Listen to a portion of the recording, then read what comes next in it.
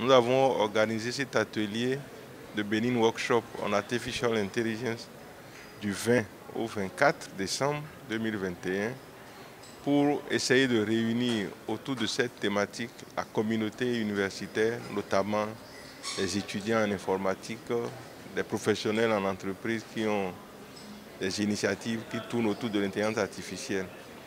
Il faut déjà noter que l'intelligence artificielle devient de plus en plus une préoccupation au niveau des États et tout le monde en parle.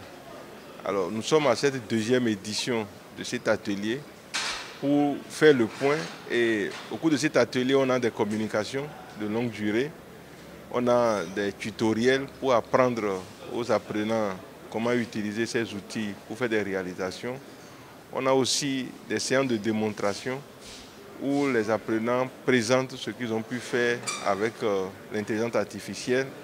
Il y a aussi des posters pour montrer les résultats obtenus des projets qu'ils ont dans ce sens. Voilà pendant cinq jours ce qui va nous occuper pour créer l'effervescence autour de l'intelligence artificielle. Il faut noter que nous avons un projet un peu ambitieux et de créer une formation qui parle essentiellement d'intelligence artificielle au niveau de la licence et de master à partir de l'année 2022. Voilà un peu ce qui va nous réunir pendant les cinq jours.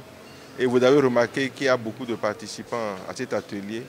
On avait envisagé au départ 100, mais le nombre est déjà au-delà de 100, sans compter ceux qui sont en ligne, qui sont nombreux aussi.